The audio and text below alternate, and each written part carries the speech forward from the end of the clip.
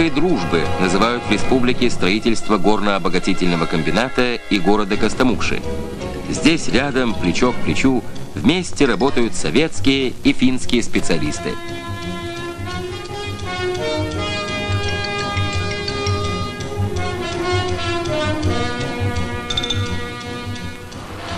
Полным ходом идут вскрышные работы в карьере. Валерий Андреевич Жуков, один из лучших водителей большегрузных автомашин.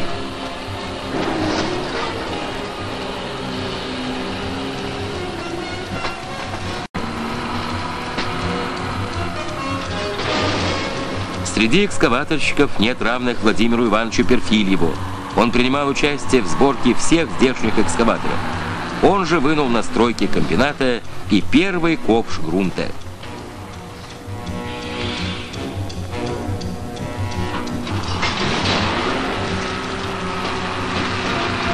Впереди еще много работы.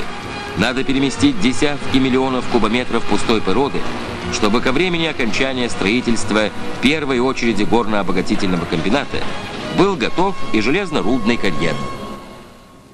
Журнал «Советская Карелия» много раз рассказывал о Костомукшском горно-обогатительном комбинате, об этом самом современном предприятии отрасли. Важнейшие события в жизни коллектива запечатлены на кинопленке – мы познакомились со многими строителями комбината, металлургами, горнодобытчиками. И вот новая встреча.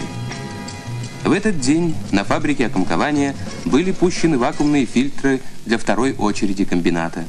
В этот день в карьере добыто около 10 тысяч тонн руды. Впервые приступили к работе 110-тонные самосвалы «Белазы». Освоение самой мощной техники сулит коллективу немалый выигрыш – добыча и доставка руды на комбинат будет более ритмичной и дешевой.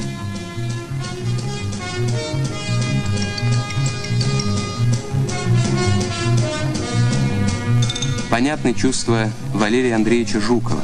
Ему в числе первых пяти водителей доверили управлять машиной-гулливером. За штурвал такого грузовика садишься, конечно же, с особой ответственностью.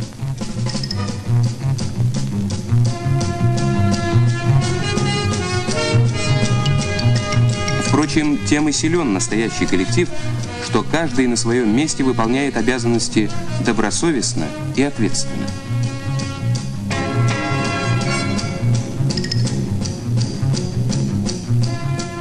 В этот день в цехе обжига окатышей работал коллектив мастера Валерия Александровича Осянина.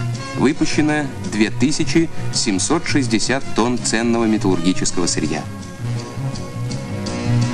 Все, о чем мы рассказали, произошло в памятный для всех нас день – День коммунистического субботника.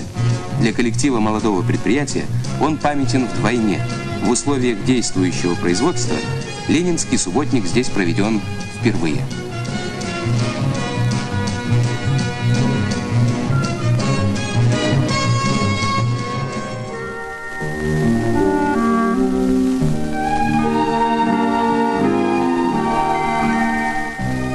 С вами в Костомукше, в детской художественной школе. Родители этих ребят строят новый город и обогатительную фабрику Костомукшского комбината. И пусть пока дети не слишком разбираются, что такое железорудный концентрат, но их рисунки навеяны яркими впечатлениями от огромной стройки, которая вошла в жизнь их семей, в заботы и разговоры взрослых.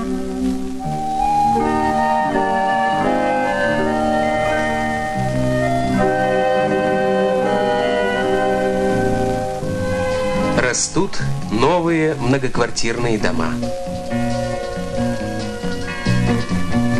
В этой пятилетке здесь будет построено 180 тысяч квадратных метров нового современного жилья, новый детский сад и школа.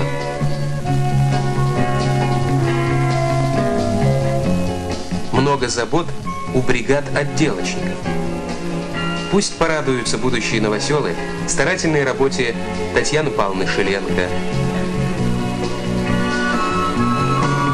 Анны Михайловны Маричевой, Татьяны Викторовны Зубаревой, Галины Николаевны Анфиловьевой и многих-многих других строителей.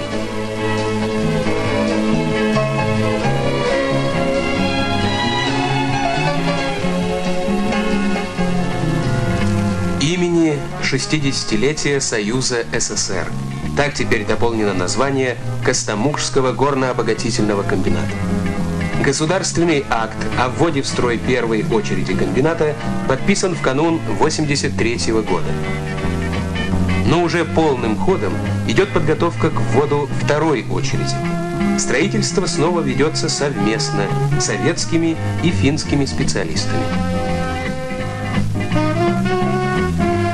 Сплотил и объединил усилия многих людей сквозной бригадный подряд. Заинтересованность в быстрейшем достижении конечного результата уплотняет рабочее время, приводит в действие резервы. Инициатива, творческий поиск монтажников нацелены на главное – сдать мощности второй очереди досрочно.